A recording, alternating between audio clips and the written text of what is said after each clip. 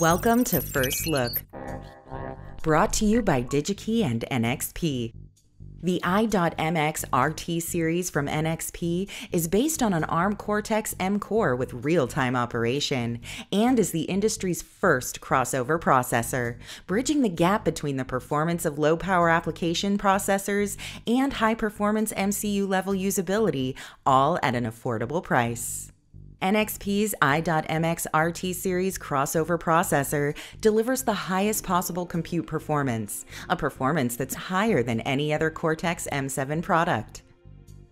In addition to a 20 nanosecond interrupt latency and low dynamic power consumption, it also offers a high level of security thanks to AES 128, high assurance boot, and execution from encrypted flash. When used in a smart connected IoT product, the i.MX RT series delivers tailored functionality and performance due to its highly integrated nature. It offers a comprehensive multimedia platform which enables customers to design advanced GUIs and HMIs, supported by a 2D graphics acceleration engine, parallel camera sensor interface, and an LCD display controller. The i.MX RT series from NXP not only boasts integration improvements and an increase in performance, but also facilitates ease of use for MCU customers. The time, cost, and complexity risks to the product development cycle by switching to a higher level operating system can potentially be avoided entirely.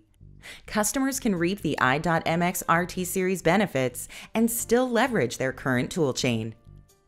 The MCUXpresso SDK is an extensive software suite designed to streamline application development with NXP's i.MX RT crossover processors and other ARM Cortex M core based microcontrollers.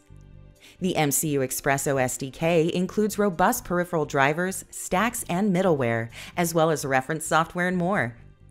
Customers can also take advantage of rapid and easy prototyping via FreeRTOS, SDK, ARM Mbed, and the global ARM ecosystem, as well as faster development by means of the low cost evaluation kit and single voltage input, which simplifies power circuit design. See you next time on First Look.